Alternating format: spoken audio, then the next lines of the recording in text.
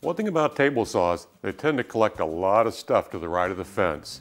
Well, we've got a great project for you that'll take care of a lot of that. It's this table saw organizer from Woodsmith. It's got some good features to it. Let's take a look inside. Inside the door, we've got a pocket here which will hold two inserts for your table saw and place for two of your most popular blades. But open up the panel and there's more storage inside. We've got room for your dado stack, extra blades, and some washers for your dados.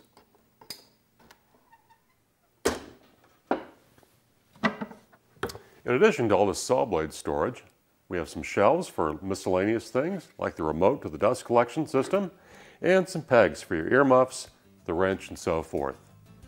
It's an easy project, it's a fun build, and a great addition to your shop, and you'll find it in Woodsmith.